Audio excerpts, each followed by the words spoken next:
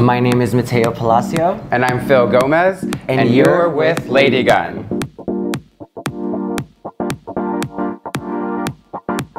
Lady Gun magazine has shot covers for Doja Cat, Paris Hilton, Thalia, Becky G, Lotto, Nelly Furtado, and more. We're an independent funded magazine and we are striving to create content that's beautiful for a whole new generation of creators and just encompassing a whole new era of fashion.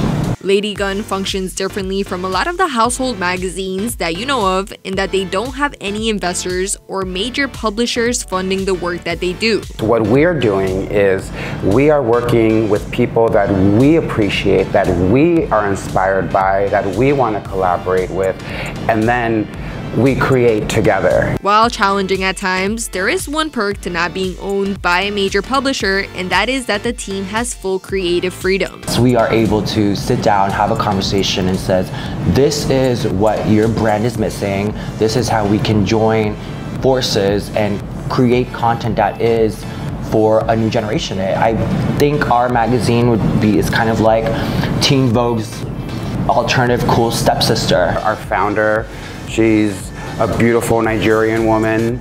We have queer, we have trans, we have all these voices that have not had a, a place all in one platform. So that, that makes LADYGUNN special. You know, the fact that our team is very diverse in comparison to other media conglomerates. Like somehow we've created a Lady Gun lifestyle without even knowing that we were creating a lifestyle. We're there to collaborate. We're there to say, what do you need and how can we make that work? Um, seeing artists and the people we work with as canvases where we join those creatives rather than kind of imposing what all these other publications can do, which is fine in their own realm, but I think that unique creative aspect will always exist. Right. And our team has always been POC forward, queer forward.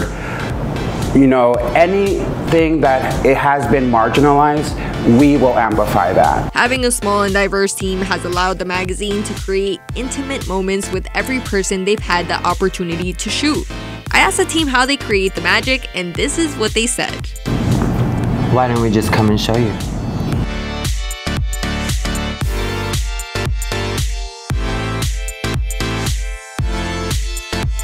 So ready? Ready. Let's go.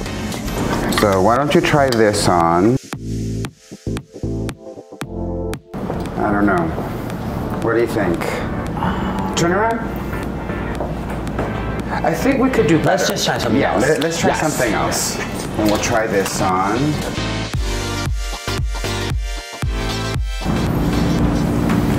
Yes, look at her. Because when you when you read one of our stories, we're literally just kikiing with someone. We're just like talking to them. Where we're putting a shoot together. We're learning about each other, and that's really what allows us and gives us that difference. Like people are able to be vulnerable while creating.